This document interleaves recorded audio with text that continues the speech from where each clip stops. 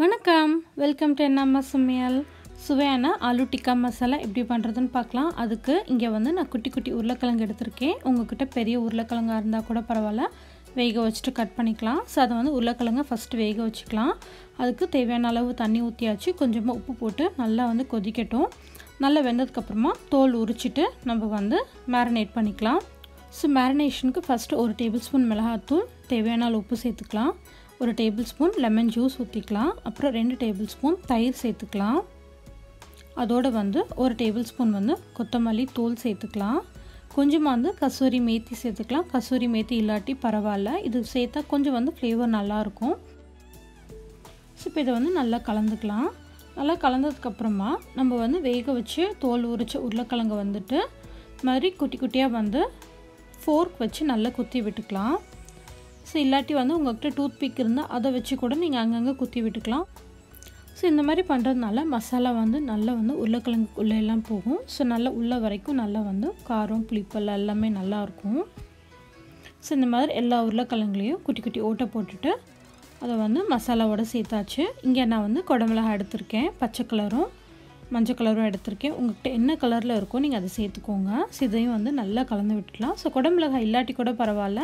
குடமிளகாய் போடுறதுனால கொஞ்சம் எக்ஸ்ட்ரா வந்து ஃப்ளேவர் நல்லாயிருக்கும் வாசனை நல்லாயிருக்கும் ஸோ இப்போ அது மேரினேட் ஆகட்டும். இப்போ வந்து மசாலா ரெடி பண்ணிக்கலாம். அதுக்கு கொஞ்சமாக வந்து எண்ணெய் ஊற்றிக்கலாம் பேனில் அதில் அஞ்சு பூண்டு பல்ல நல்லா குட்டியாக கட் பண்ணி வச்சுருக்கேன். அதையும் சேர்த்துக்கலாம். ஒரு இன்ச் இஞ்சி எடுத்துக்கலாம். ஸோ அதோடு வந்து மூணு காஷ்மீர் ரெட் சில்லி சேர்த்துருக்கேன். உங்கள்கிட்ட காஷ்மீர் ரெட் சில்லி இல்லாட்டி ரெகுலர் ரெட் சில்லி கூட சேர்த்துக்கோங்க. அது வந்து ரெண்டு சேர்த்தா போதும். அதோட வந்து ஒரு பெரிய வெங்காயத்தை நல்லா கட் பண்ணி வச்சுருக்கேன். அதையும் சேர்த்துக்கலாம். ஒரு பெரிய தக்காளியும் சேர்த்துக்கலாம். ஸோ இப்போ இந்த மசாலாவுக்கு தேவையான அளவு உப்பு சேர்த்துக்கலாம். காஷ்மீர் ரெட் சில்லி வந்து சேர்க்கறதுக்கு காரணம் வந்து கொஞ்சம் வந்து கலர் நல்லாயிருக்கும். அதனால தான் சேர்த்துருக்கேன். இப்போ கொஞ்சமாக வந்து மிளகாத்தூள் சேர்த்துட்டு நல்லா வந்து கலந்து விட்டுக்கலாம். ஸோ வெங்காயமும் தக்காளியும் வந்து நல்லா சாஃப்டாக வெந்துடணும் அப்போ தான் வந்து கிரேவி நமக்கு ரொம்ப நல்லா டேஸ்ட்டாக இருக்கும். ஸோ அதே மாதிரி அடி பிடிக்காமல் பார்த்துக்கோங்க அப்பப்போ கிளறி விட்டுட்டே இருங்க. ஸோ நல்லா மூடி வச்சு நீங்கள் குக் பண்ணுறதுனாலும் பண்ணிக்கலாம். ஸோ நல்லா வந்து வெங்காயம் தக்காளியெல்லாம் நல்லா வெந்து வதங்கினதுக்கு அப்புறமா கொஞ்சமாக வந்து முந்திரி பருப்பு சேர்த்துக்கிறேன். உங்கள்கிட்ட முந்திரி பருப்பு இல்லை இல்லை முந்திரி பருப்பு வேண்டாம் நீங்கள் நினச்சிங்கன்னா கொஞ்சமாக வந்து கசகசை சேர்த்துக்கோங்க. அதுவும் சூப்பராக இருக்கும். சார் ஒரு டேபிள் ஸ்பூன் அளவுக்கு நீங்கள் கசகசை சேர்த்துக்கலாம். ஸோ இப்போ அடுப்பு ஆஃப் பண்ணியாச்சு. நல்லா ஆறட்டும்.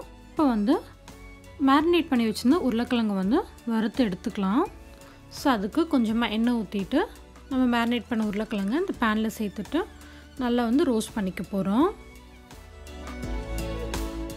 ஸோ இந்த மாதிரி வந்து மேரினேட் பண்ண உருளைக்கிழங்கு வறுக்கிறதுக்கு நீங்கள் வந்து ஹெவி பாட்டம் பேனாக எடுத்துக்கோங்க. இல்லாட்டி அயன் பேனாக எடுத்துக்கோங்க. ஸோ அப்போ தான் வந்து ஒட்டாமல் நல்லா வந்து மசாலா எல்லாமே உருளைக்கிழங்கோடு சேர்ந்து ரோஸ்ட் ஆகும்.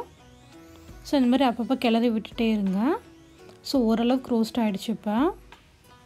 ஸோ இப்போ இன்னும் வந்து நல்லா ரோஸ்ட் ஆகிடுச்சு ஸோ இந்த உருளைக்கிழங்கையே வந்து சாப்பாடுக்கெலாம் சைட் டிஷ்ஷாக வச்சுக்கலாம். அவ்வளோ நல்லாயிருக்கும். ஸோ இப்போ நம்ம வதக்கி வச்சுருந்த வெங்காயம் தக்காளி இப்போ அரைச்சிக்கலாம் ஸோ நல்லா ஆறிடுச்சு ஸோ அதை அரைச்சி எடுத்தாச்சு. இப்போ இன்னொரு பேனில் வந்து ஒரு டேபிள் ஸ்பூன் வெண்ணெய் சேர்த்துட்டு வெண்ணெய் உருண்டதுக்கு அப்புறமா நம்ம அரைச்சி வச்சுருந்த மசாலாவை இதோடு சேர்த்துக்கலாம். ஸோ வெண்ணெயில் வந்து அந்த மசாலா வந்து நல்லா வதங்கும் போது அவ்வளோ நல்ல வாசனையாக இருக்கும். அதே மாதிரி டேஸ்ட் வந்து நல்லாயிருக்கும் வெண்ணெய் சேர்க்குறதுனால. ஸோ நல்லா வந்து கலந்து விட்டுக்கோங்க. உங்களுக்கு வெண்ணெய் சேர்க்க பிடிக்காட்டி கொஞ்சமாக வந்து எண்ணெய் சேர்த்துக்கோங்க. ஸோ கொஞ்சம் நேரம் வந்து நல்லா குக் ஆகட்டும் அந்த மசாலா. ஸோ மசாலா வந்து ஓரளவுக்கு நல்லா குக் ஆனதுக்கப்புறமா நம்ம வறுத்து எடுத்து வச்சுருந்த உருளைக்கிழங்கு இதோடு சேர்த்துக்கலாம். ஸோ இப்போ மசாலாவோடு சேர்ந்து நல்லா வந்து கலந்து விட்டுடலாம். நல்லா வந்து எல்லா சைடும் கூட்டாகணும் ஸோ நல்லா கலந்ததுக்கப்புறமா உங்களுக்கு எந்த கன்சிஸ்டன்சியில் கிரேவி வேணுமோ அதுக்கேற்ற அளவுக்கு தண்ணி ஊற்றிக்கோங்க நான் இன்றைக்கி ஒரு கப் தண்ணி சேர்த்துக்கிறேன்.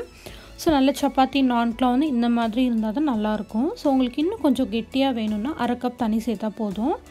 ஸோ நல்லா வந்து கொதிக்கட்டும். நல்லா கொதிச்சதுக்கப்புறமா நம்ம வந்து மேலே வந்து கொஞ்சமாக கசூரி மேத்தி தூவிட்டு அடுப்பு ஆஃப் பண்ணிடலாம். அவ்வளோதாங்க சூப்பரான ஆலு டிக்கா மசாலா ரெடி ஆகிடுச்சு ஸோ இந்த ஆலு டிக்கா மசாலா வந்து சப்பாத்தி புலாவ் இது எல்லாத்துக்கும் வந்து சைட் டிஷ்ஷாக ரொம்ப சூப்பராக இருக்கும். ஸோ இந்த வீடியோ பிடிச்சிருக்குன்னு நினைக்கிறேன். பிடிச்சிருந்ததுன்னா என் நம்ம சமையல் சேனலை மறக்காமல் சப்ஸ்கிரைப் பண்ணி வச்சுக்கோங்க. நம்ம நெக்ஸ்ட் இன்ட்ரெஸ்டிங்கான ரெசிப்பியில் மீட் பண்ணுவோம். தேங்க்ஸ் ஃபார் வாட்சிங்